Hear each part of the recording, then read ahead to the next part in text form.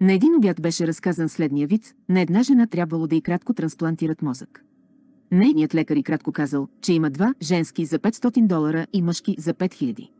Тя попитала защо е тази разлика в цената. Отговорът, защото женският е бил използван. Повечето от присъстващите се засмяха, но един мъж стана и се възмути. Какво толкова е станало, попита една жена на масата. Заменете думата мъж в този вид с негър или еврейн и ми кажете как ви звучи, каза той. На една поздравителна картичка, публикувана в списанията, пишеше «Мъжете винаги се оплакват, че ги задушаваме». Вътре в картичката пише «Лично аз смятам, че ако можеш да ги чуеш как се оплакват, значи не натискаш достатъчно силно възглавницата». Когато позваних на жената от списанието, която ми е приятелка, тя беше шокирана. Горкичкият бял, чувствителен мъж, каза тя. Един говорител каза, че не вижда нищо нередно в тази шега и каза, че картичката вървяла много добре и че няма ли протести от потребителите във връзка с нея. А също толкова смешно ли ще ви бъде, попитах, ако разменим половете и започнем да се шегуваме с това как мъжът убива жената. Не, каза той, защото 85 до 90% от купувачите и кратко са жени, няма пазар за обратната шега. Не знам мъж, който да отиде на банкет и да започне да разправя вицове на тема колко глупави са жените. Картичка, в която шегата идва от това как мъж убива жена не би се възприела като смешна. Очевидно е, че става дума за двоен стандарт. Освен това, напоследък на фона на безобидните шеги с жените се наблюдава доста враждебен хумор по отношение на мъжете без почти никакви възражения. Надпис на картичка «Мъжете имат само два недостатъка – всичко, което казват и». Всичко, което правят. Има още много примери. Време е да се замислим за този анти. Мъжизъм и за посланието, което се разпространява, че има нещо много нередно в това да си мъж www.mnsnwsdali.com наклонена черта stories наклонена черта лио 90402.htm Звезда, звезда, звезда.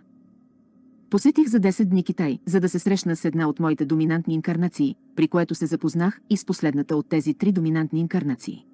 Там не е мястото, на което бих искал да живея при финалната си инкарнация, но прекарах добре. На нас в САЩ ни внушават, че там е като в Сталинистка Русия, но това не е вярно. Градовете са чисти, а Шанхай има прекрасна архитектура. Много от хората са с мобилни телефони, както в САЩ, а в магазините има огромно количество стоки. Американската пропаганда лъже много. Звезда, звезда, звезда.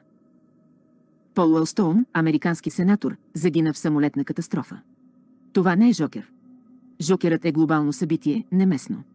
Обърнете внимание на това, че когато искат да забележите някого, го осветяват с прожектори, възможно най-много. Хората, които са в светлината на прожекторите не са хората, които трябва да наблюдавате, наблюдавайте всички други освен тях. Правете си заключенията сами. Правилните отговори можете да намерите в отдел «Текущи събития» в библиотеката на Монро на 27 ниво. Това е играта в действие. В периода на края на играта трябва да се случат определени събития. Едновременно инкарниращите се висши аз обръщат внимание на това какво се случва тук. Те ще направят така, че последователно инкарниращите се да се придържат към правилата. За наблюдателите трябва да търсите корените на това, което става. Това, което получавате от новините, във вестниците и дъра подобни, е пропаганда от правителството в съответната страна. Ако вярвате на това, което казват, значи все още сте манипулирани от играта. Това не е нито добро, нито лошо. То показва къде в играта сте вие. Новините не трябва да бъдат омегата на информацията, края, а по-скоро нейното начало. Това, което пише в сегментите на матрицата 5 е предназначено за сравнително малко хора, тъй като малцина са готови да го схванат. Да, знам, че мнозина от читателите на матрицата искат да бъдат събудена финална инкарнация, а всъщност не са готови за нея, но вие заблуждавате самите себе си, ако не можете да признаете нивото, на което сте сега и съответните ограничения. Освен това и то е много важно, вие трябва, имам предвид наистина трябва да се научите да поемате отговорност за онова, което казвате или правите. Хора ми пишат и когато им отговоря къде грешат. Казват не това имах предвид и се опитват да превърнат своя проблем в моя отговорност. Вижте, няма нищо лошо в това да правите грешки, всички ние ги правим, докато сме инкарнирани. Зрелостта настъпва, когато започнеш да поемаш отговорност за себе си. Ако ми кажете нещо, аз ви отговоря, а вие кажете не това имах предвид, проблемът е ваш, защото вие трябва да се научите да казвате това, което имате предвид. Обясняват ми защо аз трябвало да отгадна какво имали предвид. Това значи да избягваш отговорност. Правилният отговор би бил, казах това погрешно, нека го перефразирам, или просто сгреших. Ни потъвайте в подвижните пясъци на своето его. Признаването на грешките винаги означава напредък над егото. Совалката Колумбия експлодира над Тексас. През целия ден и наистина имам предвид целия ден, американската телевизия беше съсредоточена върху експлозията на совалката над Тексас. Седем души загинаха. Добре, но военни самолети наклонена черта хеликоптери, както и малки частни самолети също катастрофират и за това не пишат повече от няколко реда в новините. В Америка казва, че катастрофата станала много близо до деня, на който преди години експлодирала Челиджър през 1986. Да ви се струва, че има нещо подозрително тук. Интересното е, че първият израелски астронавт загина в експлозията. Той си. Носил рисунка, направена от неговата 14-годишна дъщеря, убита през Втората световна война в един от европейските концентрационни лагери. Когато посетих Аушвиц в Полша по време на последната година в колежа, това беше преди да започна своето псиобучение. На земята до една ограда намерих изолиращо стъкло и го вдигнах, почувствах най-ужасната вибрация, която някога бях усещал. Оставих го обратно. Човек не изпитва желание да си носи артефакти от концентрационен лагер. Те носят със себе си своите вибрации. Да се вземе подобен предмет на борда на сувалката не е направило добро никому. С това не искам да кажа, че този факт е станал причина за експлозията и за трагедията при все, че и това е дало своя принос за нея. За случая през 1986 беше широко прието, че група извънземни се е взривили като предупреждение към Земята. Читателите на матрицата знаят, че Орион планира да се завърне. В нашата Слънчева система има много извънземни летателни тела. Малки, големи и огромни. Дали тази сувалка е видяла нещо, което не е трябвало да? Види. Дали на тази сувалка е било дадено нещо от една група извънземни, което друга група извънземни не е искала те да донесат на Земята? Може би да. Може би не. Ако отговорността за това е била на извънземните, никога няма да чуете за това от официалните източници. Не е съвпадение това, че сувалката е била разрушена над Тексас, родния щат на влечогоподобното от Белия дом, Адолф фон Буш. Послание ли е било това до него? Не само не бих се усъмнил в това, но бих го и очаквал, особено след заплахите на Буш спрямо Ирак и към всичко, които не му се покланят. Извънземните не искат земята да се взриви с ресурсите, на които разчитат. Не се обяви, че това със сувалката не е станало поради нещо, което е на земята. Заслужава да се обърне. Внимание на това. За експлозията не обвиниха, както обикновено, терористи. При мерките за сигурност относно сувалката това не може да мине. Буш каза, че тези хора са герои. Това е принизяване на стоиността на тази дума, но диктаторите и потисническите правителства винаги търсят герои. Всъщност герой е онзи, който прави нещо изключително, обикновено рискувайки живота си, което става спонтанно. Но когато на някого му плащат, за да върши дадена работа и опасността е част от нея, и ако той умре в резултат от свързания с работата му риск, това не го прави герой. Те са знаели рисковете. Истински герой би бил някой минувач, който влиза в гореща сграда и вади оттам някого, а не пожарникаря, на когото плащат, за да прави това, на него му плащат, а на минувача не. Но в тези фашистки дни все по-често ще чувате за псевдогерой. Не съм чувал толкова много глупости за герой от дните на съветския възход. Днес, на 1 февруари 2003 във вестника пише, че администрацията на Буш възобновява стари трудови разпоредби, които могат да станат причина много. Американци да работят по-дълго време без да им се плаща за извънреден труд. Това. Обаче вероятно няма да се забележи поради шума, вдигнат около експлозията на сувалката. Това е диктатурската тактика и аспект от връщане към заробването на населението. Мислите ли, че ще имате облагите от работата си днес, ако империята Орион успее да се върне и ни зароби като планета? Няма начин. Фашисткият бял дом продължава да търси начини да ни отнеме онова, което имаме, за да ни подготви за един от жукерите, които могат да бъдат разиграни. Годината от Ада започна. Наблюдавайте. 9 февруари, новините, НАСА обяви, че Американското стратегическо звено е открило нещо да лети близо до Колумбия след като тя е достигнала орбита. Говорителката на космическата агенция каза, че са само първоначални данни и все още е рано да се каже. На 16 януари, един ден след изстрелването на сувалката, военният радар е открил предмет, който се отдалечил бързо от сувалката. Звезда, звезда, звезда. Бел, Прев. Ето допълнителна информация по въпроса, която не е взета от книгата Матрицата 5. Една перспектива за обявяването на войната в Ирак. Увод. В своето изявление през 2003 президентът Буш обяви опасност за Америка и света от режимите, които притежават ядрени, химически и биологични оръжия, и заяви, че ще обяви предварителна война на Ирак, за да предотврати ужас, какъвто не сме виждали. Критиците на Буш, включително и политическия коментатор Роберт Фиск, заявиха, че войната не е заради химическите бойни глави или човешки права, тя е заради нефта. Настоящото изложение ще ви предложи съвсем различно гледище. Как документираното извънземно присъствие се свързва с американската политика в Ирак?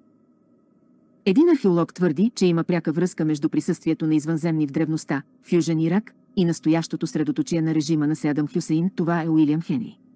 Той поддържа тезата, че по времето на Шумер е съществувало едно техническо средство, описвано като Сетаргейт, междузвезден портал, който анунаки наклонена черта Нефилим са използвали, за да пътуват до Земята и из галактиката. Ако това е така, значи то най-вероятно е разположено в шумерския град Урук, който е основният град на шумерската цивилизация и дума на Гилгамеш, известният крал от епоса на Гилгамеш. Захария Ситчин е пропуснал значимостта на Сетаргейт в преводите на текстовете и проучванията на транспортните средства на извънземните. Елитът на Анонаки трябва да си е тръгнал през Сетаргейт и да е затворил портала след себе си. Много източници описват настоящата ера от гледна точка на завръщането на боговете наклонена черта Анонаки. Представата за описаното в пророчествата за връщане се различава и има три различни перспективи. Първата се базира на идеята за боговете, или анунаки, които физически се завръщат на планетата, за да изиграят важна роля. При оказване на влияние върху човешките дела и за да проверят ресурсите на планетата. При подобен сценарий, първата вълна на Анунаки ще пристигне, за да създаде благоприятни условия за завръщането на елита на Анунаки. Това означава, че Анунаки първо ще се завърнат и ще активират шумерския Сетаргейт, който ще е необходим за завръщането на техните лидери. Втората перспектива е завръщането на техния домашен свят, планетата Нибиро. Привържениците на третата перспектива се съсредоточават върху значимостта на предстоящия край на текущия 5200 годишен цикъл на майте. Според Джон Мейджор Дженкинс, майте са били наясно с начина, по който Слънчевата елиптична равнина се изравнява периодично с галактическата равнина. Това дава възможност на по-интензивни космически енергии от сърцевината на галактиката да достигнат Земята. При това настъпва повишаване или намаляване на нивото на човешкото съзнание, те, част от мозъка се включва или изключва. Докато тези цикли на майте преминават през своите различни фази. Според Дженкинс, годината 2012 съответства на края на цикъла на майте и ще доведе до бърза трансформация на глобалното съзнание. Спещите по настоящем части на мозъка се подравняват, докато слънчевата еклиптика се подравнява с галактическата равнина. Според това обяснение самото човечество ще придобие богоподобни сили, които спонтанно ще станат достъпни за голям брой хора. Много автори вече описват невероятните способности и психични сили на все повече деца по света ТНАР. Деца Индиго. Анализ на политиката на САЩ срещу Ирак. Ако съществува се таргет за ровен фюжен Ирак, то правителствените организации, контролиращи или влияещи на администрацията на Буш знаят това и знаят за какво служи той. Ако и Седам Хюсейн и Буш знаят, че има такова нещо заровено там, те знаят, че съществува и раса, която има достъп до него и го контролира. Това дава важен контекст, полезен за разбирането на истинските мотиви на администрацията на Буш да насочи удара си към Ирак. В момента е на лице пътово положение. Хюсейн контролира земите в Южен Ирак и позволява да се извършват разкопки в Урук, докато САЩ контролира небето и следи ситуацията. Администрацията на Буш иска да контролира иракската територия, за да контролира разкопките в Урук и да открие Сетаргейт устройството, за да може отблизо да го наблюдава и контролира. Хюсейн пък иска да открие и активира портала Сетаргейт, за да се здобие с по-голяма слава и може би да облагодетелства човечеството. Едно от Доказателствата е подновяването на разкопките в Урук от германския археологически екип през 2002 година.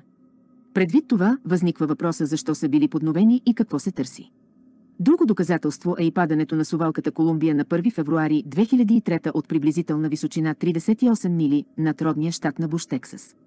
Един от астронавтите е от израелските въздушни сили и е играел роля при нападението на Израел над иракското ядрено съоръжение в Осирак през 1981 и се предполага, че мисията му е била да събира информация при движението на сувалката в орбита около Земята. Разрушаването на сувалката става 16 минути преди кацането, когато горивните и кратко резервуари са били буквално празни. Един вероятен източник на разрушаването и кратко, като се имат предвид нейната скорост и височина, е евентуално нападение от организация или държава, притежаваща военни способности по-големи от тези на която и да е терористична група и на повечето страни. Вероятната причина може би е да се изпрати важно съобщение до САЩ като към съперници, заплашващи. Ирак с предварително нападение. Проучване 2. Февруари 3, 2003, www.exopolitics.org символ за авторско право Диар Майкъл и сала www.american.ed наклонена черта сала. Атлантида Атлантида има филм на Дисни с това име. Обърнете внимание на обърнатия знак Ви на него. Той се появява в стария филм Атлантида – изгубеният континент. Обърнатият знак Ви е символът на древна Атлантида. Те имали много напредничава наука, въздушни кораби и лъчеви оръжия. Кристалът бил центърът на тяхната енергия, но не заради самия кристал, а защото усилвал енергията изпращана към него. Ето защо кварцовите кристали са толкова ценени от онези, които използват техните психични способности. Този кристал за изначална сила притежавал огромна мощ. За съжаление, Атлантида накрая била с тъмна полярност, за разлика от това, което Дисни искат да внушат на хората.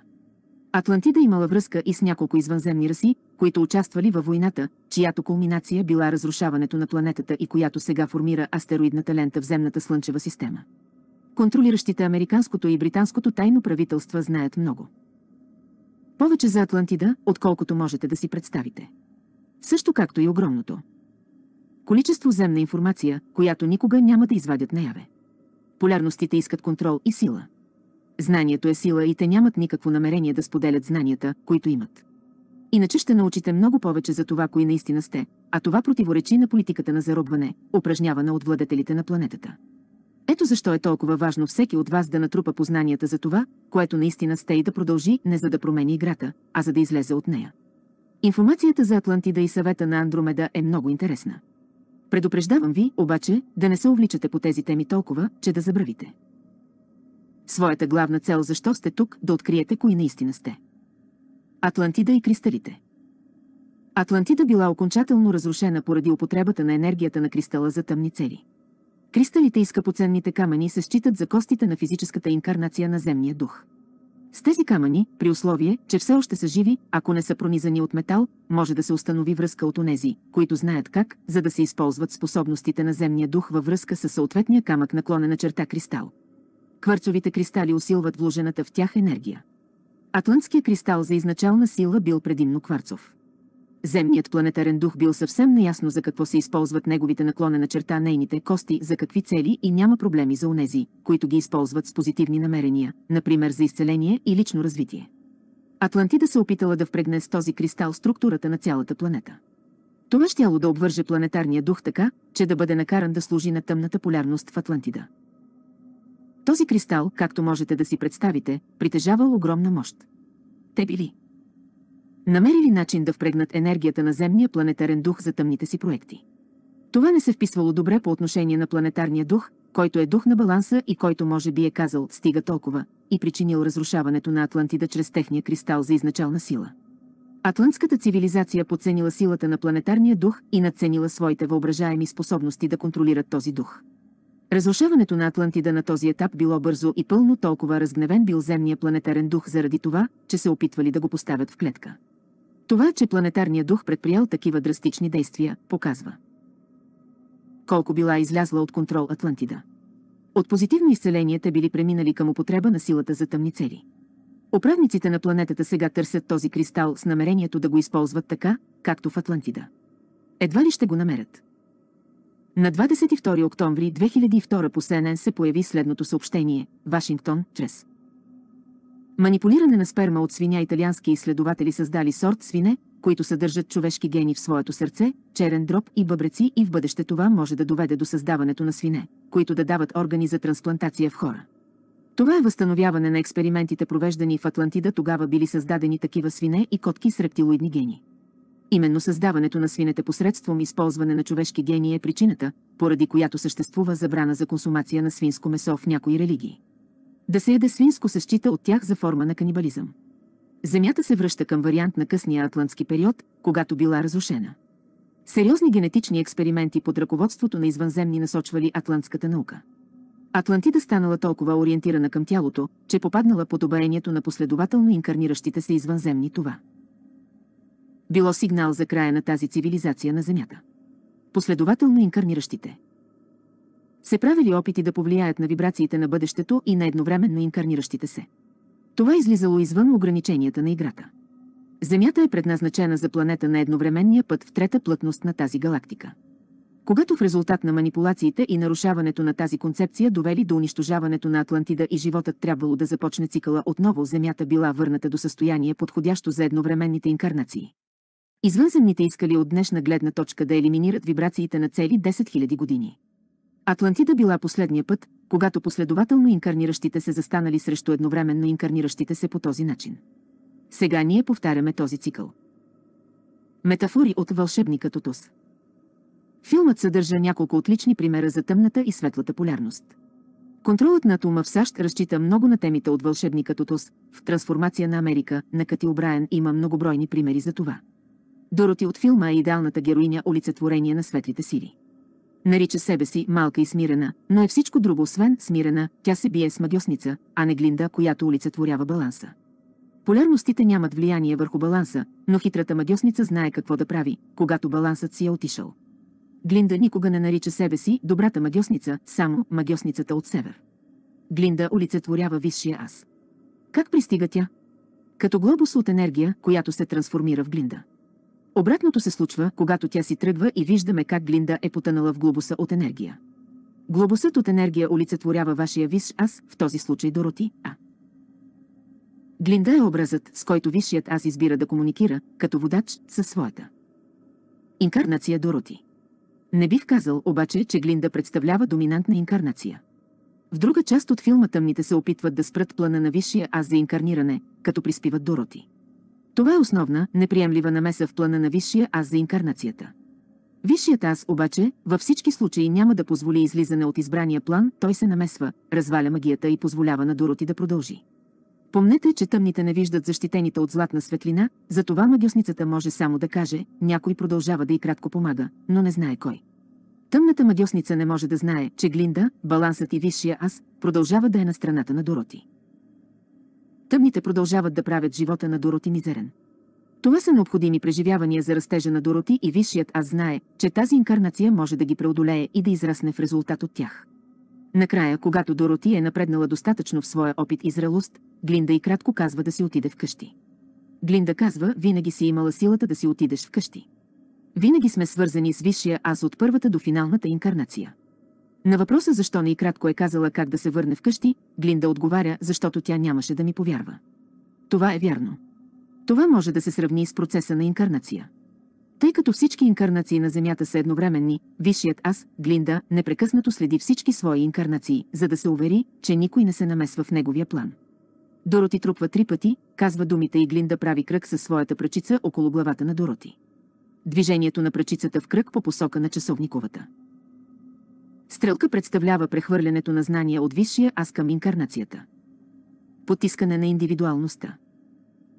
Земята е много уникална с широк обхват емоции и съществени различия в културите на клона на черта хората. Те са дали на тези висши аз, които са избрали земното предизвикателство голяма възможност в сравнение с последователните инкарнации.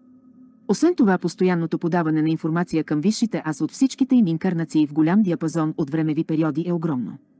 Списъкът от «не можеш да правиш това», «не можеш да говориш онова» непрекъснато нараства при все, че иначе непрекъснато се поддържа фалшивото твърдение за свобода. Истинската свобода, за която се говори в хартата на правата в тази държава не съществува, но повечето хора отказват да признаят това. Така е, защото ако го признаят, ще трябва да направят нещо по въпроса. Освен това трябва да се вземе предвид и всички инкарнации на любимци, които няма да направят нищо до момента, в който са нахранени. Една от причините земните хора да са под карантина е природата на висшите аз. И инкарнираните земни хора. Другите планети се страхуват как може да им. Повлияе въздействието на земното население. Земните се опитват да разпрострат своите уникални гледни точки над другите. Наистина, отрови като земните религии и арогантността са негативни, но пък ги има и тези, които са надраснали това и уважават онези, които са различни от тях. Тези напреднали инкарнации се вписват доста добре в извънземните култури, тъй като те не биха се опитвали да ги променят, а биха ги ценили заради тяхната уникалност. Въпреки това тези напреднали земни хора също се смятат за заплаха за много други планети. Независимия характер и неконформистките мнения на напредналите инкарнации представляват различен тип заплаха, която може да доведе до разпространението на нежелани идеи сред местното население там. И така, за да напасват земните спрямо извънземните идеи, от известно време е в действие потискане на индивидуалността. Това се прави нарочно. Като знаем това, какво можем да направим? Нищо. Както казва Монро, няма да можете да. промените посоката, в която планетарните лидери насочват земните хора посредством. Нещо като планетарно възстание. При наличието на толкова много любимци това е невъзможно. Какво можете да направите, за да подобрите положението си? Учете, четете, наблюдавайте. Много полезно е да бъдат накарани масите да се подчиняват, отколкото да се задуши индивидуалната мисъл. Управниците обаче наистина имат планове да навлязат дори в мислите ви. Единственото нещо, което може да сложи край на ужасите от този тъмен план са жукерите, например този с планетарния дух и прехода през 2012. Правителството се опитва да повали земния планетарен дух, като погребва ядрени отпадъци в Земята. Това е като рак за нея. Правителствата и техните тъмни извънземни съюзници също, според книгите на Брускати, вкарват енергия в главните енергийни точки на Земята, за да въздържат реакциите на планетата. Предишният път. Когато е правен опит за подобен контрол, е бил в последните дни на Атлантида и всички ние знаем какво се е случило, когато Земята е казала «не». Атлантида си е отишла за един ден, както и планетарния дух, на когото му е писнало. Време е Земята. Отново да поеме контрола над нещата. Отвъд края на играта от трета плътност. Едновременно инкарниращият се виж аз има на своята вътрешна стена стотици и стотици изображения на инкарнациите, които се осъществяват на Земята от трета плътност. Това, че изображенията на главите на дадените инкарнации се намират на вътрешния виш, аз означава, че инкарнацията е все още активна в съответния времеви период на Земята или в астралните равнини, избран за нея от висшия аз. Това се контролира от времевата връзка вътре във висшия аз. Там няма да видите извънземна инкарнация, защото щом висшият аз избере да поеме по пътя на едновременните инкарнации, всички извънземни инкарнации на този виш аз свършват. Не можете да имате извънземна инкарнация и едновременно с това да сте на пътя на едновременните инкарнации. Посредством времевата връзка тези инкарнационни изображения са източници на масивните количества информация, постъпващи във вашия виш аз. След играта цялата тази информация плюс всичко, което сте знаели преди да се присъедините към играта, ще ви бъде отново достъпно. Имаме всякакви видове инкарнации. Някои умират много възрастни, други много млади, а повечето умират във възрастта между тези две крайности. Но тъй като сме на едновременния път, даже инкарнацията, чието тяло умира скоро след раждането си, не е неактивна докато не престане да е в астрала. Някои могат да останат в астрала дълго. Може да имате инкарнация умряла преди 2000 години, която все още да не е умряла в частотата на 2003 година. Нейното изображение все още остава на стената на Висшия аз, тъй като времето не съществува и определени инкарнации могат да бъдат преустановени наклонена черта забавени, за да съпътстват едновременния път. Това е трудно за разбиране. Не се задълбочавайте кой знае колко в него. Оставете на страни концепциите, които все още не можете да свънете. Едва в финалната инкарнация получавате достъп до времевата връзка на Висшия аз, всички инкарнации се извикват обратно във Висшия аз и изображенията. За които говорим, се премахват от Висшия аз. При изтеглянето обратно на всеки. Инкарнационен поток вътре във Висшия аз, съответното изображение там избледнява от стената. Това става много бързо, когато финалната инкарнация извърши това действие. Орбитата на времевата връзка се превръща в гладък глобус. Самата времева връзка се реинтегрира във висшия аз, тъй като вече не е необходима. Времевата връзка не е нещо външно, а творение на висшия аз, за да се използва от този висш аз. За този висш аз играта свършва. Време е за придвижване напред. Този материал е за много напреднали. Може да помогне на инкарнацията, ако го чете, но определено ще помогне на вашата финална инкарнация, независимо къде се намира тя сега. Висшият аз и потоците от инкарнации. В други сегменти на матрицата 5 съм обсъждал вътрешната и външна форма на висшия аз от гледната точка на една финална инкарнация. В този кратък сегмент ще разгледам връзката между висшия аз и стотиците и стотици инкарнационни потоци. Като погледнете иллюстрацията на корицата ще видите няколко от тях, свързващи висшия аз с различни инкарнации. Към всеки висш аз с едновременни инкарнации има доста над хиляда подобни потоци. Висшият аз осъзнава всеки от тях и е концентриран над всеки от тях през цялото време. Ако погледнете висшия, аз ще видите огромните количества информация, които постъпват непрекъснато посредством тях и изображенията, разположени на стената от вътрешната страна на висшия аз. Обработката на тази информация става изумително бързо и не се губи нито бит от нея. Изумително е да се наблюдава този процес. Когато е необходимо, висшият аз изпраща импулс от информация до различните си инкарнации. Импулсът може да бъде всичко от идея наклонена черта мисъл до пряко намеса в живота на инкарнацията, за да предотврати прекъсването на житейския път на съответната инкарнация. Мечтите и виденията са два от методите, които Висшият аз също може да използва за комуникация със своите инкарнации. Интересно е да се наблюдава и как импулсът се движи надолу по потока.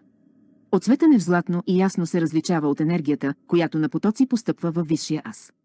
Ако получите импулс от Висшия аз, това не може да се сравни с нищо. Получавал съм много такива, откакто се събудих. Те могат да дойдат по всяко време, както установих, и достигат до мен независимо с какво се занимавам в този момент. Включително докато карам кола. Имал съм много интересни импулси, докато правя това. Импулсът на висшия аз е изключително уникален и мощен. Съдържа емоция, която е много неточно да се опише с думата «любов». Няма думи, с които може да се. Опише точно това усещане, но преживяването е нещо повече от спиращо дъха. Разбира се, при определени инкарнации има повече активност, както при доминантните инкарнации. Тази активност при финалната инкарнация е просто безпредседентна, особено по време на процеса на събуждането. При пълното събуждане, финалната става все повече и повече висшия аз. Това кулминира в финалния акт и обратното свикване на всички инкарнационни потоци. Щом висшия аз бъде върнат към първоначалното си състояние, минус приспособяванията към играта, общото количество от всички преживявания, от преди и след играта, сега става част от целият вас и ви помага във всичко, което правите в следващите етапи от своя напредък. Приключили сте играта в трета плътност и се придвижвате напред. Междувременно, назад в играта, последователните висши аз бавно се придвижват напред и кралицата на Орион все още търси несъществуващото физическо безсмъртие. Не се ли радвате, че сте избрали пътя на едновременните инкарнации? По-късни инкарнационни етапи от играта в трета плътност. В по-късните инкарнационни етапи от вашето преживяване в трета плътност, вашият висш аз къса много експериментални витки. Преживяванията са получени и духът е израснал във всяка от тези инкарнации, затова прекъсването на витката е само мотивирано. Под по-късни инкарнационни етапи от играта имам предвид много напредналите и финални инкарнации на Висшия Аз, а не по-късни с оглед времевата линия. Докато всички едновременно инкарниращи се Висши Аз имат преживявания в края на играта, или поне част от нея, тези от по-късните етапи могат и се инкарнират. В почти всеки времеви период.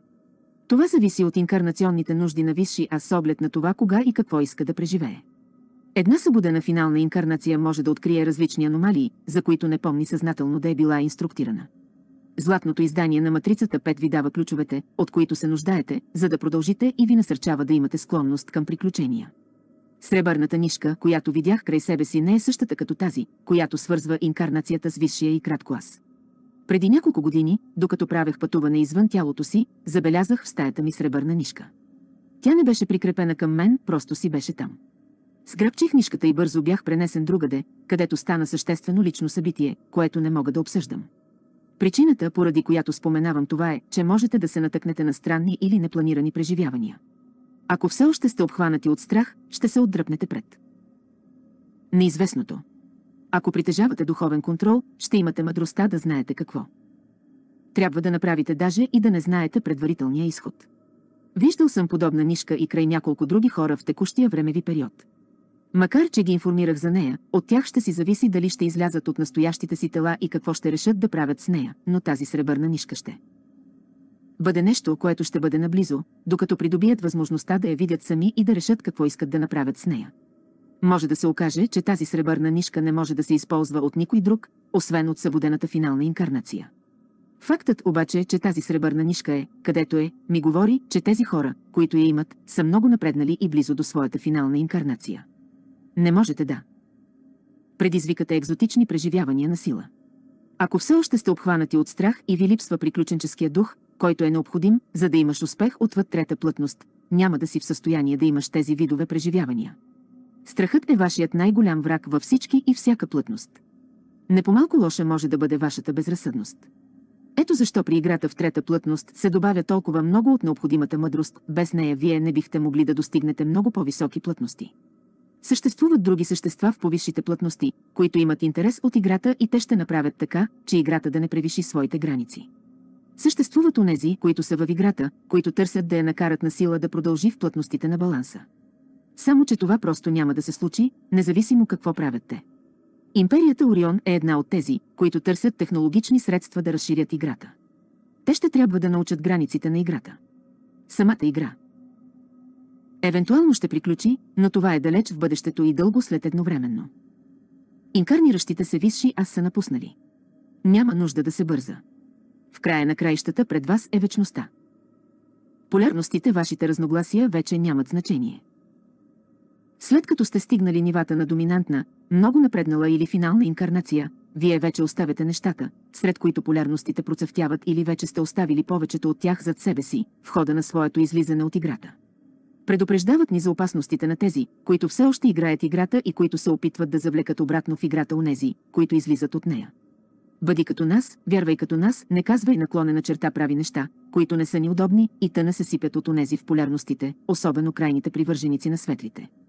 Ето защо някои светли групи нападат матрицата 5, защото все още не могат да издържат на независимия дух на мисълта наклонена черта действията, особено когато нейният източник не се опитва да им я натръпи на сила.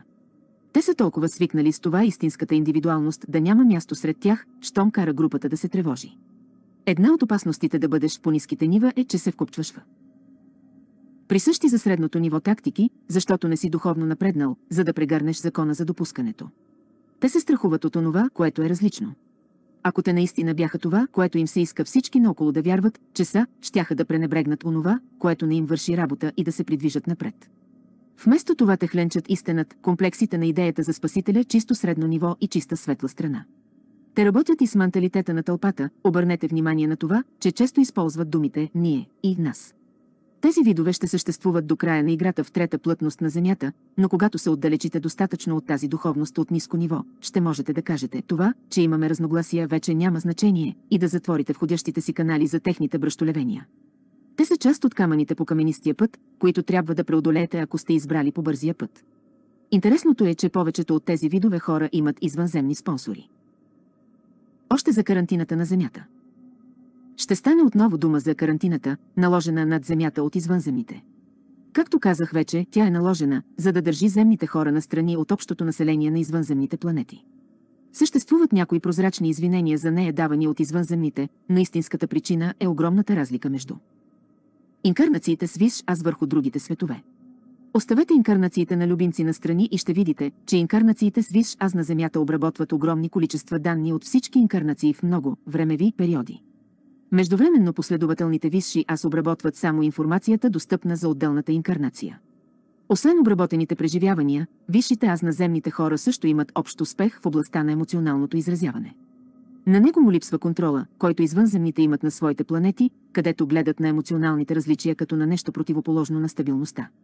Генетичните промени, които са довели до появата на земните хора, са отговорни за това, което сме днес. Имаме склонност към радикални идеи, изразяваме всички форми на емоции и можем да бъдем изключително независими.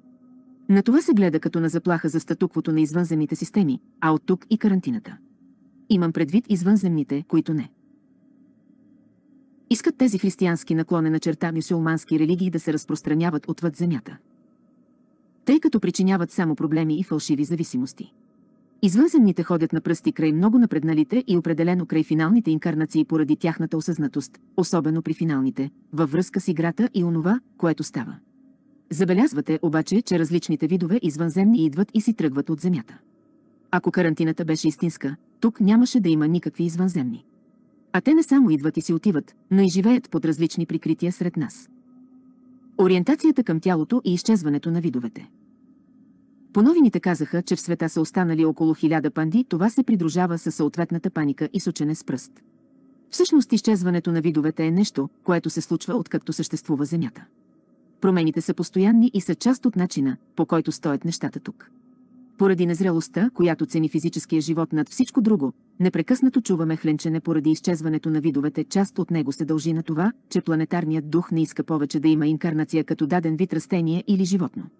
Планетарният дух няма проблеми да напредне посредством своите преживявания, съхранявани в неговия висш аз. Разбира се, това не означава, че хората трябва да не хаят за това как се отнасят. Към растенията или животните, както е и с всичко останало на тази планета, и тази тема си има две страни. Но едно е да избиваш ресурсите безогледно, като например да убиваш за спорт, при положение, че имаш изобилие от храна, или да увреждаш дърветата и горите от алчност. Обратната крайност е да се подчиниш на природата й. Да се оставиш ресурсите да те контролират, например да не ядеш месо, докато има гладуващи или да вярваш, че природното царство стои над земните висши аз. И двете крайности показват липса на баланс. Ще трябва обаче да прекарате известно време и в двете нагласи, преди да придобиете разбиране. Вкупчването в живота като в свещен е характеристика от трета плътност, която ще трябва да преодолеете. Нефизическият живот е свещен. Преживяванията, постигнати посредством този физически живот, са свещени. А под свещен нямам предвид да се кланяте наклонена черта боготворите, защото това е отдаване на силата. Тези преживявания се съхраняват вечно във вашия висш аз. Това е истински важното, както и напредъка, постигнат в резултат от това огромно количество преживявания и онова, което сте научили и начина, по който сте израснали в резултат от тях. Физическото е само превозното средство, което помага за научаването. Вселенските закони, предимно този за допускането, гласят, че хората трябва да напредват на своите собствени нива и със свои собствени темпове по своите индивидуални пътища, без принуда от онези, които са били там и са правили това. Целта на настоящия сегмент, както и на цялата матрица 5, не е да ви накара да се държите по какъвто и да е начин. Просто ви давам поглед към истинските реалности, за да ги имате предвид. Евентуално всички видове ще изчезнат. Това е белег на играта в трета плътност. Хората може би също ще изчезнат от тук като вид. Това показва успешното. Завършване на играта от висшите аз. Да се вкупчите в живота и да отречете преживяванията е онова, което играта иска от вас. Да отречете своя дух, защото, както твърдят те, вашият живот е всичко. Не, не е. Това е лъжа, но ще трябва сами да стигнете до осъзнаването и кратко като лъжа. Онова, което висшите плътности не са последователите на светлата полярност, искат всеки да вярва, че трябва да се съобразява стриктно с техните стандарти и маниери на говорене, за да премине в повисоките плътности. Тъмната полярност поставя огради от типа това може наклонена черта, това не може да се прави наклонена черта, казва. Зад ограниченията в обществото днес стоят полярностите. Едната полярност иска да накара хората да се държат добре и да се съобразяват, да бъдат добри, но не ви ли звучи това като намеса отвън с цел потискане на индивидуалността?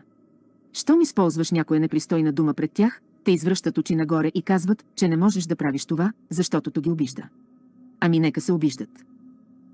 Тогава. Те искат да създадат впечатлението, че високите плътности са нещо като християнския рай. Това далеч не е така. Ако търсите християнския рай, отидете на ниво 25 от класификацията на Монро. Фактът, чето се намира под ниво 27, на което се парка наклонена черта библиотеката, трябва да ви говори много. В повисшите плътности не потискат индивидуалността, а я уважават и насърчават. Последователите на светлите шест държат много на маниерите, а това е отнемане на сила. Възвърнете си силата и спрете да се притеснявате за това какво ще си помислят другите. Всеки е на различно ниво на напредък. Светлите осъждат онези, които не се съобразяват с техните стандарти. Това е поредният камък по пътя, който трябва да преодолеете. Но не се отчаивайте, един ден ще преодолеете полярностите. Светлите все претендират, че са балансирани и че за да си балансиран, трябва да си обзет от любов и светлина. Глупости. Те не знаят какво е истински баланс. Затова описват баланс, преоблечен в Age одежди. От гледна точка на истинския баланс, обаче, любовта е нещо съвсем различно, интензивно и истинско, в сравнение с любовта, която описват тези светли. Това ще ви стане ясно, когато напреднете.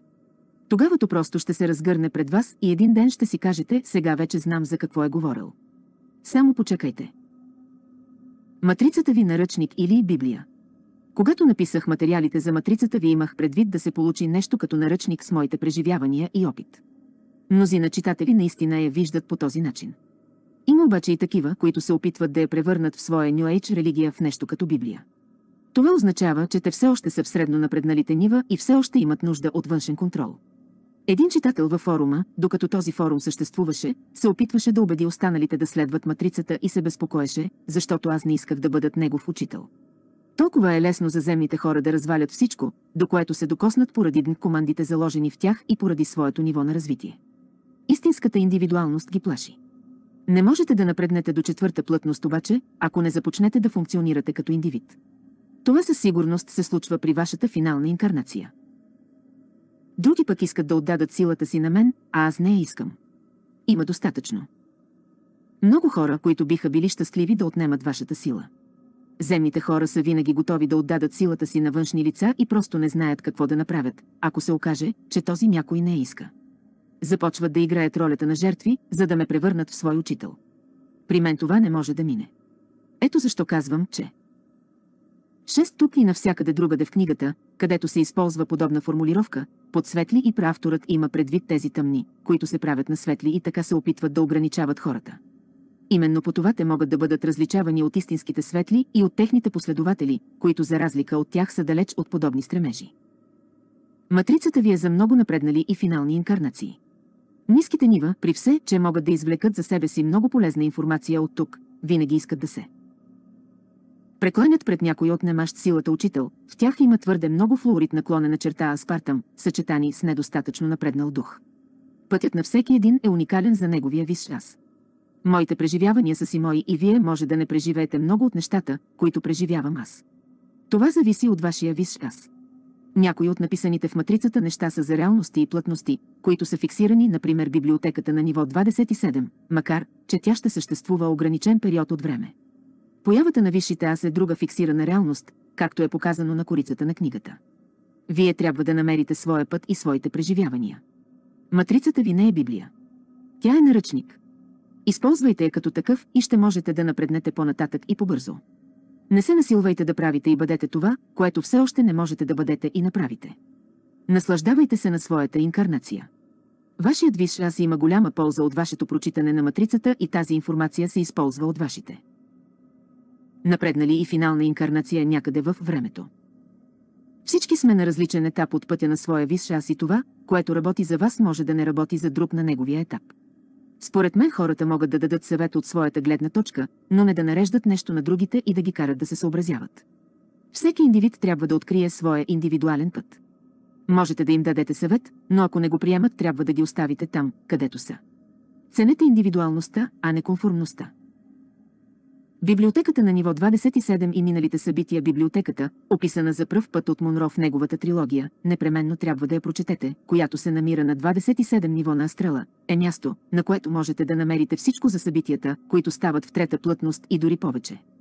Там можете да получите и помощ в своите търсения.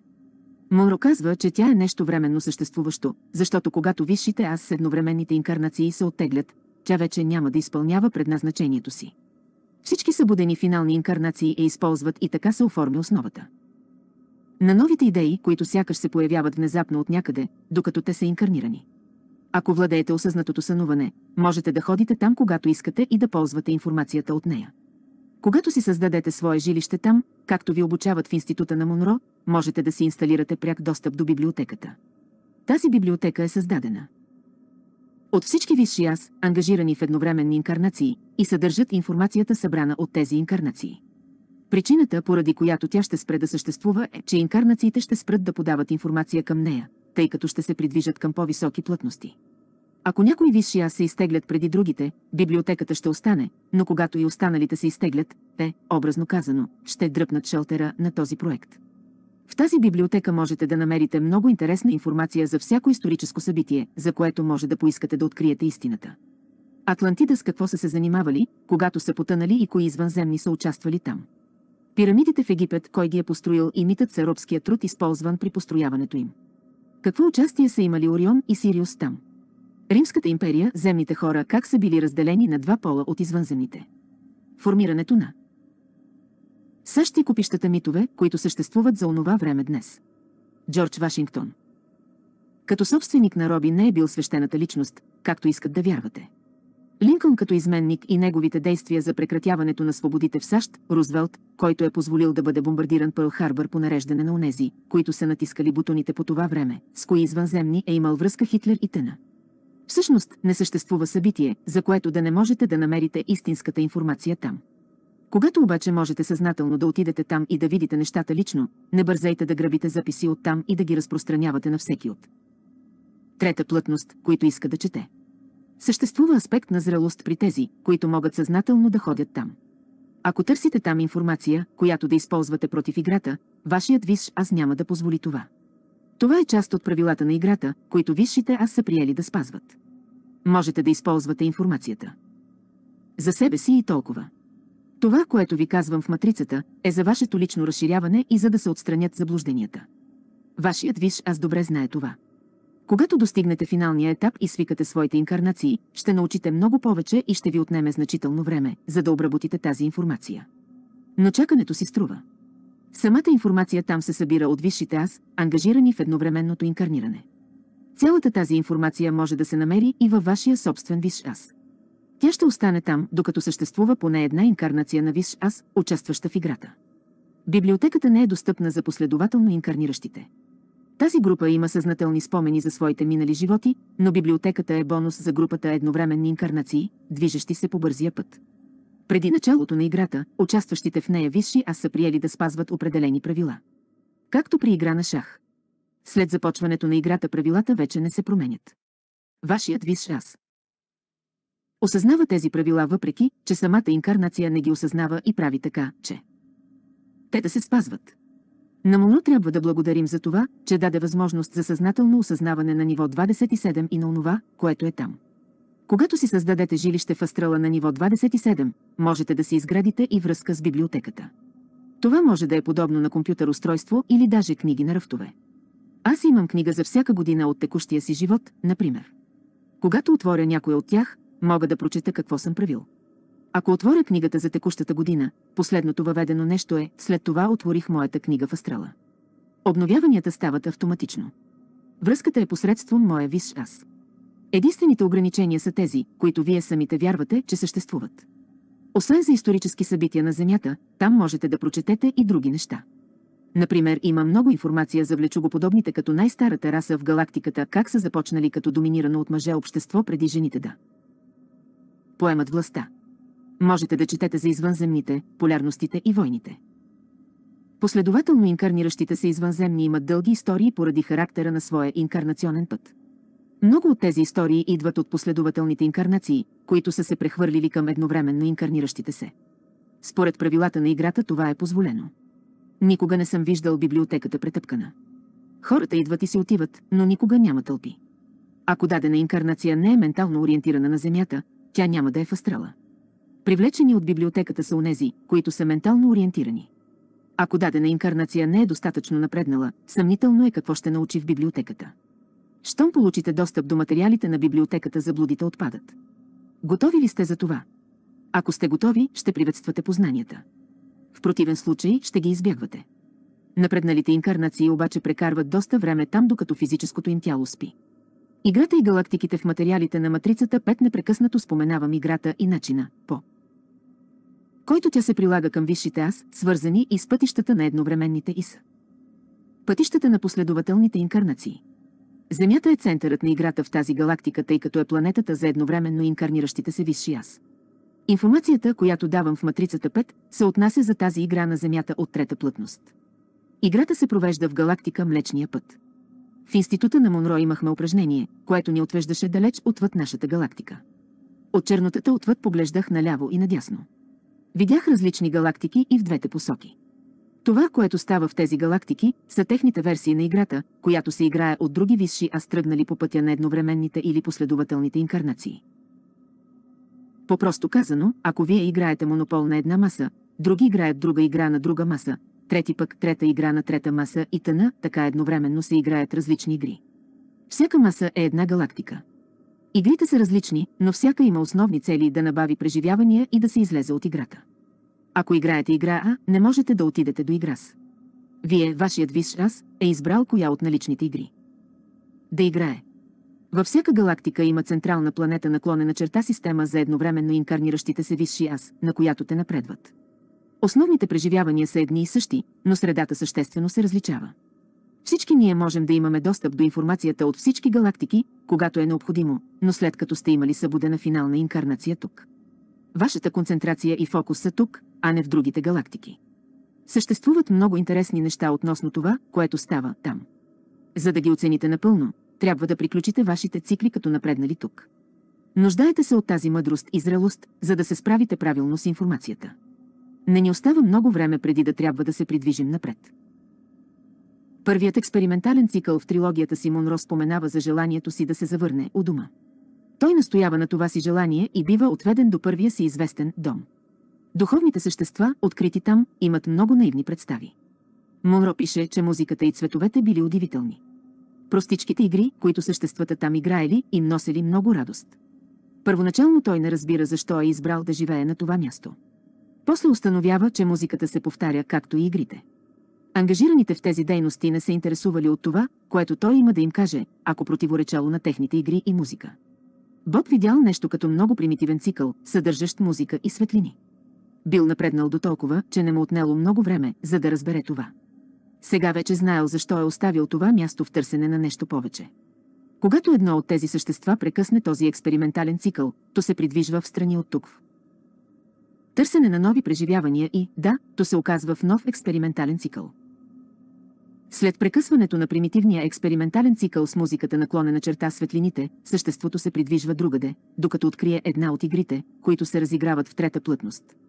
То решава в коя от игрите, които проучва, да играе, като я избира с оглед на преживяванията, от които се нуждае. Във всяка галактика се играе различна игра, където полярностите вилнеят, макар че средата всеки път е различна. В нашата галактика най-старата раса са влечугоподобните.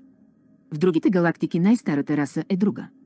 Търсещото игра същество открива правилата на играта и страните, които може да вземе във всяка игра, предимствата и недостатъците на всички тях. То разбира, че независимо коя игра е избрало, ако реши да влезе в една игра, крайните резултати ще са същите. Съществото се дава сметка за това, че ако иска да напредне, трябва да избере игра, но решението си е негово и никога не се упражнява принуда. Съществото, което Монро среща на повисоката плътност и което иска Боб да го. Боготвори, защото аз съм твоят бог, е било същество запознато с различните версии на играта и се е опитало да използва онова, което знае за играта в нашата галактика, за да повлияе на Боб. Затова, когато Боб отказва, съществото било разстроено. Включилият се в играта едновременно инкарниращ се виж, аз има по-големи способности от тези същества, които още не са се включили в играта. Експерименталните цикли от оригиналния дом, който Монро споменава в своите книги, са част от преживяванията, които ни дават опит. Успешното прекъсване на клонена черта преодоляване на тези цикли е подобно на правенето на още една крачка по шахматната дъска, която ви отвежда поблизо до победата. Помислете за това. Помнете кои наистина сте и се подготвяте за мястото, към което сте се запътили. Краят на галактическата игра.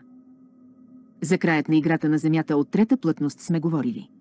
Сега ще ви кажа нещо за края на галактическата игра. Групата, която се занимава с физическия край на играта са висшите аз на природния дух, та е духа на природата. Едновременно инкарниращите се висши аз са първите, които приключват играта. Много по-късно последователно инкарниращите се висши аз, според нивото, до което е напреднала. Тяхната група приключват играта на различни етапи, като влечугоподобните приключват последни. Те са най-устойчивите на духовен напредък. Те предпочитат технологичните преживявания. Колкото по-технологична е последователно инкарниращата се раса, толкова по-дълъг период и кратко отнема да се развие духовно. При все това, влечогоподобните евентуално също ще приключат своя цикъл и ще се придвижат напред.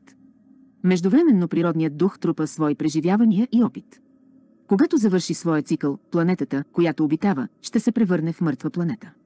Това не означава, че всички мъртви планети са светове преди това обитавани от природен дух. Съществуват множество планети, които са били създадени просто като складове за минерали от природните релии. Те не са мъртви само защото на тях няма растения и животни. Те се използват за събиране на преживявания чрез минералите. Какво представляват ще узнаете, когато му дойде времето. Например, Марс не е мъртва планета само защото е бил направена на нищо от империята Орион в далечното минало. Когато нашата слънчева система завърши своя цикъл, Слънцето се превръща в нова и експлодира. Висшият аз на Слънчевата система, природният дух обитаващ.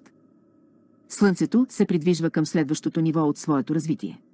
Експлодиращото Слънце сигнализира за края в тази система. Когато се стигне до края на галактическата игра, експлодиращите слънца се превръщат в нещо обичайно. Черните дубки са друго средство за почистване. Те всмукват в себе си цели системи с тяхната материя и енергия. Към края на галактическата игра черните дубки 7 се появяват по-често и се превръщат в нещо обичайно. Много преди да стане това едновременно инкарниращите се висши, аз ще са се оттеглили. След играта, преглед, сравняване и споделяне всички сте чували за това как животът ти преминава пред погледа, когато смъртта почука на вратата на инкарнацията. Това е разкъсване на един от дънк филтрите във вашето физическо тяло и ви дава възможност за кратко да се докоснете до инкарнационния поток или нишка на висшия аз относно тази конкретна инкарнация в истинска заплашваща със смърт ситуация. Това е бързият преглед на преживяванията на тази инкарнация, които се съхраняват във вашия виш аз. Когато вашата финална инкарнация е решила да призове всички останали инкарнации на този висш аз през времевата връзка да се върнат във висшия аз, той прекарва, относително, кратък период от време като прави преглед на опита и преживяванията на всички свои инкарнации. Това е поглед назад и сортиране на огромно количество безценна информация. Този преглед от религията се нарича съд, за да предизвика у вас страх, защото когато се страхувате, сте полесно контролируеми. Самите висши аз намират този. Преглед единствено за очарователен, интересно колко много животи си избрала да живееш като проститутка, или какви бяха основните ти преживявания като член на СС през Втората световна война. Това продължава известно време, но помнете, че всъщност времето не съществува и вие разполагате с цяла вечност да се занимавате с каквото искате. Висшите аз избират ситуации, в които са централния герой за някои преживявания, а в други като второстепенен герой, понякога са потисника, а понякога потисканите. Някои висши аз предпочитат да преживеят много инкарнации с други висши аз, които са им приятели докато са в играта. Ролите обаче се разменят многократно. Преживяванията се трупат. Само помислете колко има да си говорите с. Седем повече подробности за черните дубки ще намерите в книгата на Орис, Душата и космоса, Белпр. Приятел, който е участвал с вас в нещо с ограничен мащаб в една инкарнация. Представете си, ако това става хиляди пъти по хиляди пъти. И при това са на разположение звук, светлина, цветове, 3D и още. Материалите, които издавам под чадъра на матрицата 5, нямаше да са възможни без помощта на други висши аз и техните инкарнации. Например, без помощта на Вал те нямаше да бъдат издадени като книга и вие нямаше да можете да ги получите. Да, аз щях да съм ги написал и щях да съм ги споделил с неколци на близки приятели, но този материал е далеч по-важен, за да се разпространи в толкова ограничен мащаб. За това беше необходима мащабна комуникация и интернет. Има някои висши аз, които оказват привидно малка, но изключително важна подкрепа. Планирах края на играта отдавна. Сега тази реалност е в ръцете ви. Почакайте докато вашият висш аз види от какво се интересувате. Играта и играчите, когато започнете игра, следвате установените правила. Висшите аз обичат игрите. Всички тези примери са версии на триизмерната игра, в която участваме. Многобойните висши аз, които играят играта, в страни от играта не са противници, макар, че могат да бъдат такива докато са в играта. Последователно инкарниращите се играят срещу едновременно инкарниращите се земни хора. Те могат да извършват действия, които увреждат вашите пионки наклонена черта инкарнации наклонена черта. В играта има и други висши аз, които са ваши съюзници и вие имате множество инкарнационни взаимодействия с тях. Вие си помагате взаимно по разнообразни начини в зависимост от включената инкарнация. Това се отразява от вас и вашия най-добър приятел, докато играете на таблото като екип. Вие можете да играете същата игра и с други приятели, но те избират пионки, които ви пречат да победите. В играта в трета плътност, влечогоподобните и техните съюзници са някои от главните пионки, които работят за да ви попречат да завършите. Но това не означава, че техните висши аз са врагове. Извън играта. Не, не са. Играта е с много аспекти и далеч по-сложна от опростеното и несъществуващо доброто срещу злото, както мнозина биха желали да считат. Играта функционира на няколко нива с различни облаги за всяко едно от тях. Евентуално играта ще свърши. Първо за едновременно инкарниращите се, а след това за последователно инкарниращите се. След завършването на играта всички играчи ще прекарат много време в преразглеждане и сравняване на своите бележки за играенето на играта. Няма да можете напълно да оцените играта като това, което тя представлява, преди да я завършите и да се възстанови цялостната ви памет. Вашата събудена финална инкарнация ще научи много за нея, вие просто не можете да си представите даже колко много, но има още много неща, които ще станат очевидни след като финалната инкарнация свика всички свои едновременни нишки през времевата връзка. Имайте предвид този сегмент, когато наблюдавате играта в трета плътност в действие. Напускане на висшите аз завършилите играта. След като физическото тяло на финалната инкарнация е умряло и след като тази инкарнация е свършила своите последни задачи в астрала, финалната инкарнация се връща във висшия аз, за да свика обратно всички съществуващи едновременни нишки на този висш аз. След като даден висш аз, имащ последователни инкарнации, реши да започне участие в играта като такъв с едновременни инкарнации, той първо свиква последователните инкарнации в себе си и те биват обработени като информация. Когато казвам, че висшият аз има стотици и стотици едновременни инкарнации, това не включва последователните инкарнации, които е имал преди да избере пътя на едновременните инкарнации. Колко инкарнации в света от трета плътност край вас имате? Ще откриете своя отговор на този въпрос, когато завършите играта и направите преглед на своите преживявания. Когато е готова да излезе от играта, финалната инкарнация се придвижва напред. За да използва времевата връзка. Сферата на времевата връзка е с много страни. Горната централна страна е кръгла. Останалите са с различна форма триъгълници, квадрати, петоъгълник, правоъгълници и т.н. Всяка е уникална за вашите инкарнации. Финалната инкарнация знае как да използва тази сфера, за да свика обратно нишките. Времето спира да съществува за тези енергии, след като те бъдат абсорбирани във висшия аз. Последната страна, горната кръгла страна, е страната на финалната инкарнация. Финалната инкарнация не пътува във висшия аз като фигура в стъклена снежна топка. След обратното абсорбиране на всички инкарнации, висшият аз реинтегрира и финалната инкарнация, като премахва и нейното изображение като вече ненужно. Тези изображения вече не са на стената на висшия аз. Времевата връзка е изпълнила своята цел и вече не е необходима на висшия аз. Енергията, която висшия аз е използвал, за да създаде времевата връзка, се връща в този висш аз. Бившата финална инкарнация вече не е съставена само от 3-4 доминантни инкарнации. Вместо това тя се превръща в новата версия на този висш аз. Новият висш аз е Отърсва от всички изображения наклонена черта заблуди на играта и се обогатява с фантастични количества от преживявания, усещания, емоции и тъна от всички инкарнации в играта, както последователни, така и едновременни.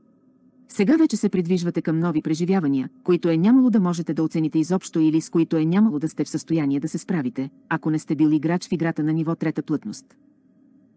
Истинските чудеса отвъд Земята в окончателното пътуване Монро правилно заявява, че истинският проблем за изследователите във висшите плътности е да преведат онова, което са видели, на земен език. Много пъти съм разказвал по телефона на Вал за чудесата, които съм виждал, или за съществата, с които съм разговарял, но съм му казвал, че земният език е беден, за да опише тази информация. След като видите и взаимодействате с чудесата отвъд Земята в трета плътност, животът ви вече няма да е същия. Но няма да се заинтересувате от тези неща преди да стигнете до нивата на напредналите, а да правите такива пътешествия ще започнете когато стигнете до нивата на много напредналите, поради зрелостта, която е необходима, за да взаимодействате с това огромно разнообразие от събития и същества там. Тогава не само ще сте опитни, а вече няма да разчитате на вярата. Вярата е за онези, които нито са видели, нито са преживели. След като вече сте видели. Преживели обаче, няма да ви интересува вече дали някой ви вярва или не. Преживяванията ще са вашите потвърждения и всичко, което ще има значение за вас. Вашият живот се променя. Вие се променяте. В тази поредица статии ви разказах за някои от моите преживявания във връзка с висшия аз, древните земни хора, генетичните специалисти и други. Има още много по-големи чудеса, които могат да се видят или преживеят. Има много същества в горните нива на астрала, но и множество интересни отвъд четвърта плътност. Ако отидете отвъд нивото, на което обитават висшите аз, имайки преживявания от Земята в трета плътност, ще изглеждате като джудже сред гиганти. След като всичките ви инкарнации са отново във висшия аз, ще отидете сред тези, които са като гиганти спрямо вас. И не само това, преживяванията на тези нива с нищо не приличат на тези на Земята. Можете да отидете на Орион и да видите кралицата на влечогоподобните на нейната звезда Еминтъка, или да слезете под земята и да видите подземните базина извънземните на Земята, но бъдете много внимателни, ако решите да правите. Това. Те притежават астрални аларми, които ги предупреждават, че някой си навира нос там. Отидете отвъд нашата галактика, нямам предвид нашата слънчева система, а галактика. Могат да се видят неща, които биха ви спрели дъха, ако имаше дишане докато сте извън тялото, каквото няма. Да, можете да пътувате във времето.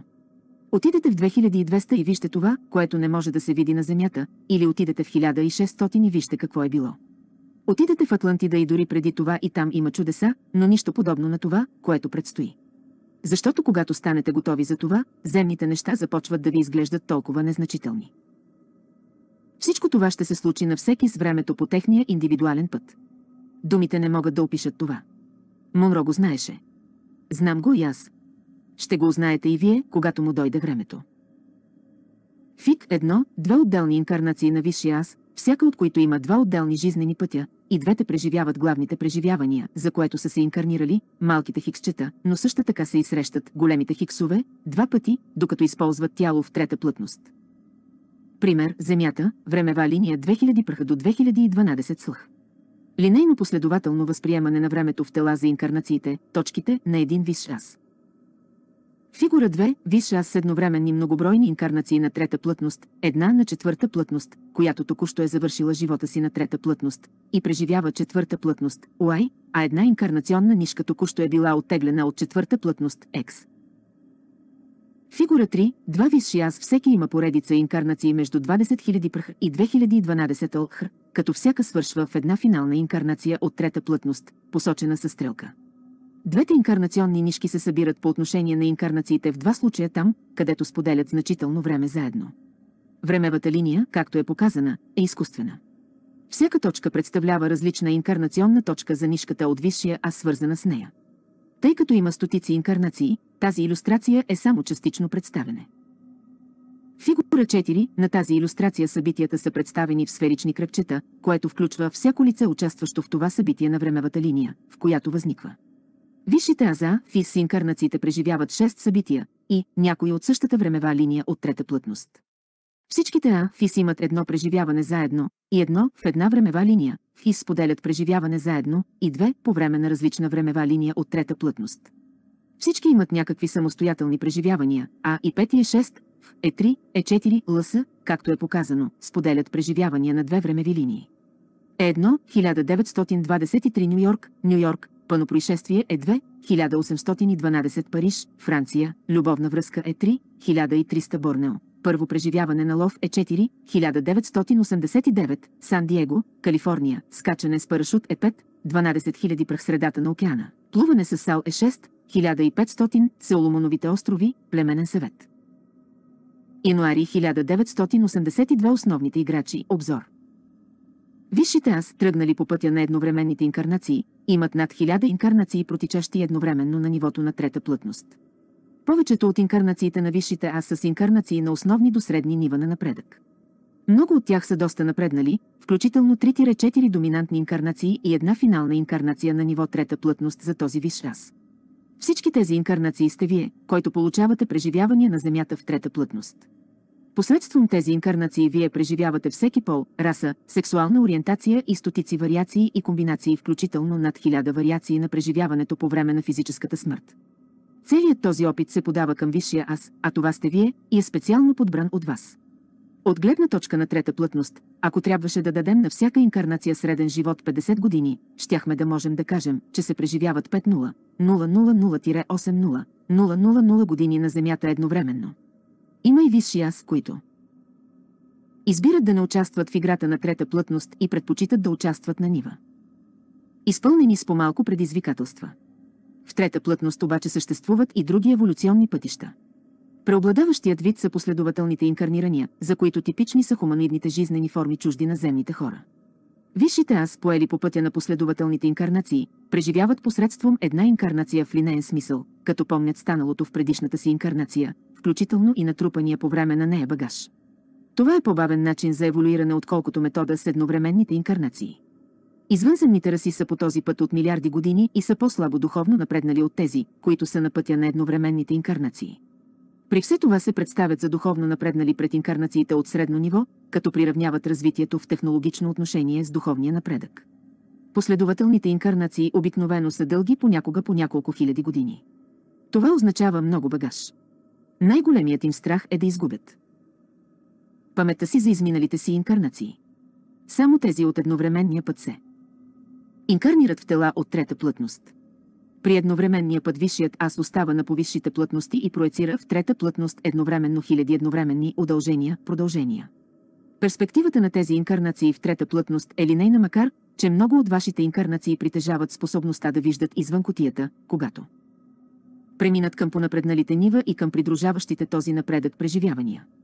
Земята е остров в тази галактика от последователни за поелите по едновременния инкарнационен път поради интензивната концентрация на полярности и разнообразието от преживявания.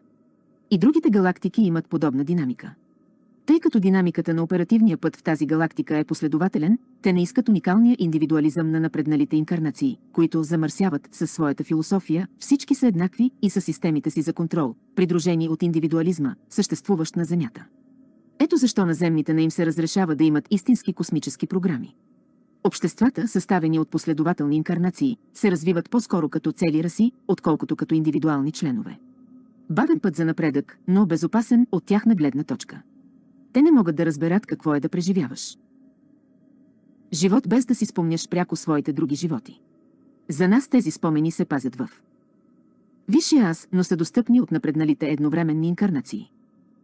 Библиотеката на Фокус 27 Разказвал съм ви за тази библиотека, сега тук включвам иллюстрации въз основа на това, което съм виждал при посещенията си там.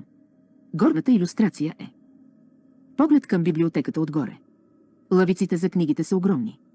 При влизане в библиотеката тази секция ви се пада отляво. Можете да се ровите по рафтовете, но това не е необходимо. Едно лице в библиотеката ми каза, че е достатъчно само да си помислите за това какво искате и то ще се появи в ръцете ви. Аз последвах инструкциите му и предметите се появяваха изумително лесно. След като приключите с книгата, тя се връща на мястото си веднага, щом мисълта ви я освободи.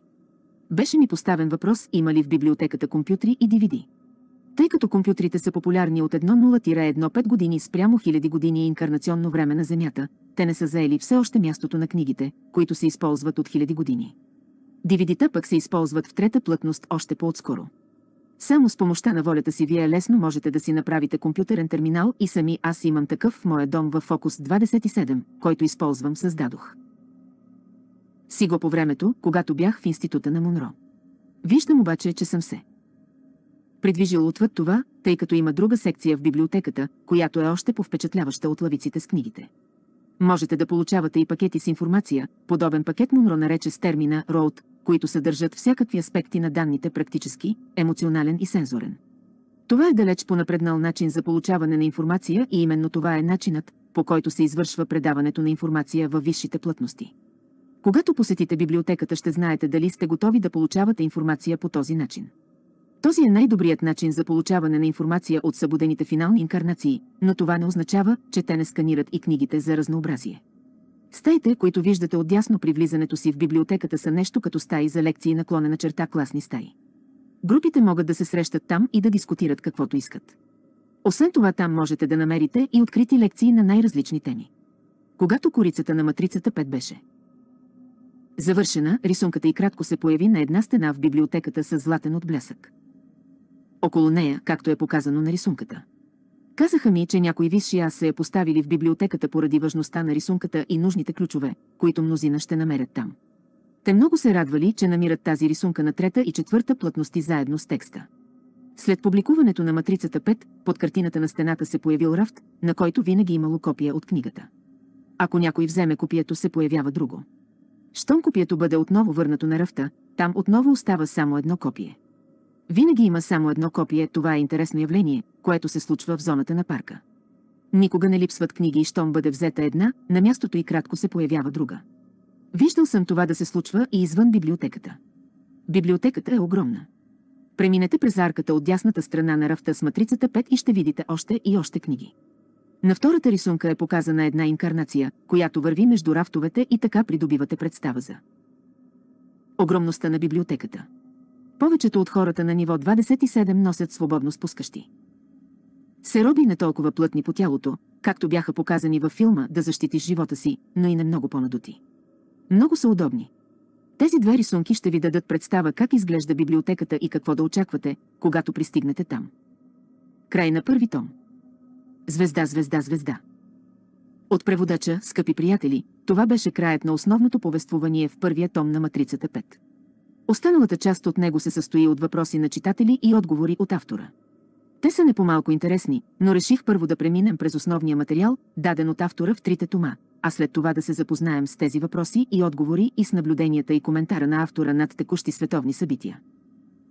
Междувременно на онези от вас, които се нуждаят от още информация от категорията «Материал за напреднали», горещо препоръчвам и написаното от Орис, постепенно ще ви предоставим максимална част от книгите и лекциите му, които допълват и разширяват материала от матрицата по наистина впечатляващ начин. Съвсем скоро ще имате възможност да се запознаете и с новото учение, свалено от Орис от будхичния план, до който твърде малко духовни изследователи имат достъп. Освояването на това ново учение ще даде възможност на всеки, който е готов за него, да осъществи своя индивидуален квантов скок и така да помогне и на останалите. Дори само прочитането на материал от такова високо ниво, иначе казано влизането в резонанс с толкова висока частота, променя в положителен смисъл аурата на читателите, ще видите снимки на аурата на хора преди и след прочитането дори само на част от книгите му. Монро и авторът на матрицата дават по-скоро обща информация за Нивата на Астрала Орис ще ви предложи пълно и подробно изследване на целия. Астрал от Ада до най-висшите светове. Това ще помогне на всеки, който се интересува от тази тема, да придобие пълна представа за астрала и да се ориентира в него максимално добре. Първите две книги, които са вече на разположение на читателите както в електронен вид, така и под формата на книги, са Душата и космоса. И хора и не хора, читателите на Матрицата знаят много добре за какво става дума, но сега ще получат допълнителна информация на тази тема, както и конкретни напътствия, които могат да бъдат прилагани от тях в ежедневието. Информацията от Матрицата 5 и информацията, свалена за нас от Орис може да се определи само с една дума уникална. Единственото ми желание е да я предоставя на максимален брой от вас, за да се възползвате от нея. Ако желаете да ми съдействате, запознайте и други свои приятели с нея. И така преминаваме към втори том от трилогията Матрицата 5. Превод Еми Манолова